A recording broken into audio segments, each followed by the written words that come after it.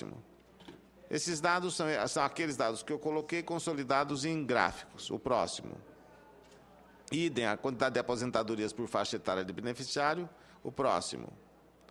Aí a cobertura entre idosos por unidade federativa, inclusive a área rural da região norte. Esse daí, como eu disse, eu vou deixar à disposição, porque tanto as confederações, quanto os sindicatos, quanto os estudiosos têm que se louvar nesse tipo de informação. Isso é, isso é informação técnica da população previdenciária. Próximo. Essa é a curva por gênero e idade, incluindo é, área rural e região norte. O quadro é bem declarado, tem aí embaixo, você pode ver homens e mulheres, é, as faixas etárias de 60 a 85 anos ou mais. Pode continuar? A cobertura do ponto de vista das manchas, certo? Manchas, manchas urbanas, manchas rurais e as manchas definidas também de acordo com a lógica do, do quadro ali. O próximo, aí acima de 60 anos, um percentual de 2010, como nós temos uma consolidação bastante difícil, só para vocês entenderem, o anuário estatístico saiu ontem. O anuário estatístico saiu ontem com os dados de 2011. Porque nós, a Previdência, além da, da, responsabilidade de cobertura, nós temos a presença, a nossa responsabilidade na equipe econômica do PIB. Nós fazemos isso em conjunto, mão dada, com o Ministério da Fazenda, que é com quem nós trabalhamos junto. Nós não trabalhamos junto com o planejamento, não trabalhamos junto com a área social, não trabalhamos junto, nós trabalhamos junto com a Fazenda, certo? A Previdência responde pelas contas. O nosso orçamento é um orçamento de 222 bilhões. É o maior orçamento do, do, entre os ministérios. Nós temos uma responsabilidade operacional técnica com a presidência e com a economia. Então, nossos dados são dados que não pode, não pode haver inconsistência nos nossos dados. Porque as pessoas falam, por que eu tenho só agora? Não, eu posso contar mais rápido e ter os dados de 2012. Eu sei quanto é, quantas pessoas que estão aposentando de julho para cá, que estão em aposentadoria. Quantos aposentaram no primeiro semestre? Mas eu não posso disponibilizar ainda, porque a consistência disso tem que passar por todo o nosso sistema técnico de atuarial. O próximo, por favor. Envelhecimento populacional, aí aposentados, contribuintes, total de protegidos, a cobertura, os percentuais de cobertura, como vocês viram, 80,4% tem cobertura. A próxima.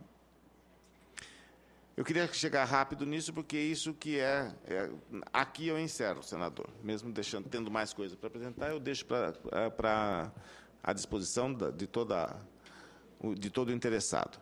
Os desafios do Brasil para reforçar a proteção dos direitos dos idosos estimular e dar apoio técnico às criações dos centros de referência para aposentados e pensionistas no regime geral e no regime próprio.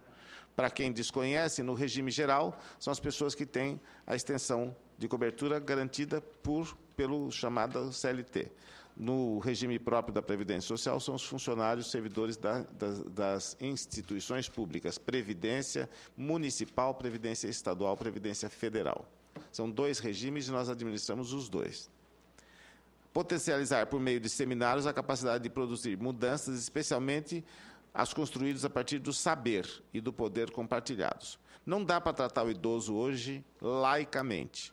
Não dá para tratar o idoso hoje com água, sabão, carinho. Não. O modelo de supervisão é um modelo de supervisão técnico, tanto os órgãos do governo, como IPEA, como IBGE, como Fiocruz, como, como toda, toda a academia certo? tem que trabalhar a questão da pessoa idosa como área técnica de conhecimento. Nós temos que transformar os esforços isolados em movimentos articulados, com maior potencial de ação.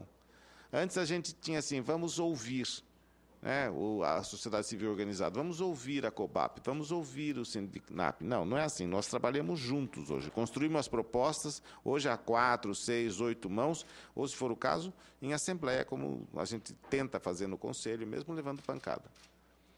É, nós temos que implementar o Pacto pelo Envelhecimento Ativo. Aí eu quero fazer um registro bem forte e bem é, duro, nós, eu sou conselheiro titular, representando a Previdência Social no Conselho Nacional de Idoso. Nós mandamos, depois de exaustivas reuniões, depois de tempo de construção, o Pacto pelo Envelhecimento Ativo.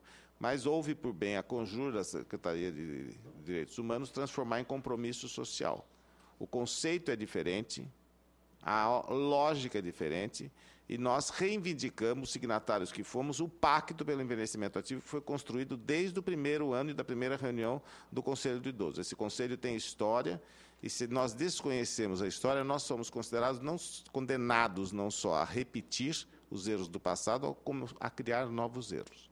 Então, o que está em curso é a defesa do pacto pelo envelhecimento ativo nas três esferas de governo além de, das três esferas do governo, eu não estou me referindo só à nossa lógica federativa, mas também aos modelos que o senador abriu aqui, dizendo sobre participação, gestão participativa e controle social. Esses compromissos são compromissos não só dessa gestão e deste governo, que é um governo de coalizão, de coalizão ampla, grande com os trabalhadores, com as confederações empregadoras, um modelo tripartite de gestão com a sociedade civil organizada, como também com a participação popular pura e simples. Nós temos uma ênfase muito grande, temos agora uma proposta de fazer formação de conselheiros e capacitação de cuidadores, não numa instância técnica só, mas numa instância política. Nós queremos políticas mais efetivas que possibilitem condições adequadas à qualidade de vida e ao processo de envelhecimento. Pode ver se tem mais alguma coisa, por favor?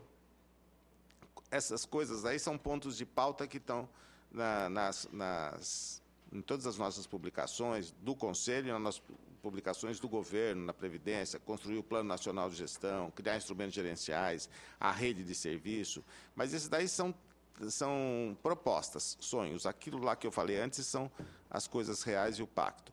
Nós, a, o objeto final, o produto final desejado nosso é a rede de serviço de atenção às pessoas idosas.